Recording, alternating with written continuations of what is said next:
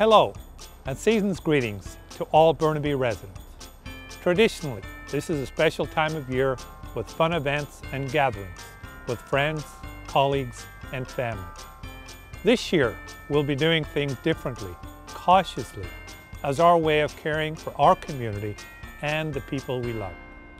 To get into the holiday spirit, I encourage you to get out and enjoy some of the wonderful light displays we have installed all around Burnaby. From Burnaby Mountain to Willingdon Linear Park, and right here at Deer Lake Park.